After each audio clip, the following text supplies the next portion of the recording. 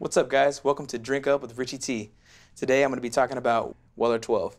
Uh, it's awesome stuff. Uh, I'm really into Wellers. Uh, it's one of the best bangs for your buck as well, like Eagle Rare or Blanton's, uh, which are in some of my other reviews if you go check them out. Uh, they're delicious. The original wheated bourbon, meaning wheat, barley, and corn. That's it. There is no rye in this, making it usually to some people's effect smoother. Uh, going into how to taste and how to check it out. Really beautiful almondy browns and lights.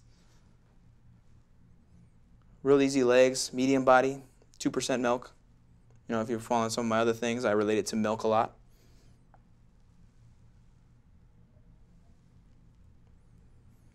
So smooth and creamy, easy to drink. A lot of corn, a lot of wheat you're going to taste, making it softer. That wheat. Now, this is something that a lot of people really look for. I mean, the Weller 12 is delicious. You actually mix this with Weller 107 Antique, which is hard to find. You make your poor man's Pappy. Let it sit for about six months, and that's how it's gonna be the closest to Pappy you're gonna get. So they say. Everyone's palate's different though, so always remember that. Now, on my Instagram, if you follow Drink Up a Richie T on Instagram and Twitter, uh, we actually have I have these two, and I want to know your opinion on what bottle you like more and what you like now. Um, I like the new bottle a little bit more. Um, their taste very different because they're different vintages, different styles. Remember we talked about that.